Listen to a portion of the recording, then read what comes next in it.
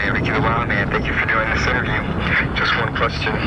This is the last semester, just one more match Where this wrestling semester over. And your skateboarding championship title to be defended against the opponent.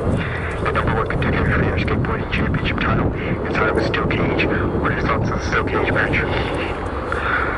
Well, it's only going to be a back and forth, struggle back and forth contest, but I assure you that in the end, I, the Rock Man, Rock Man,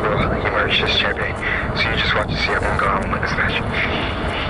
I'll keep for time.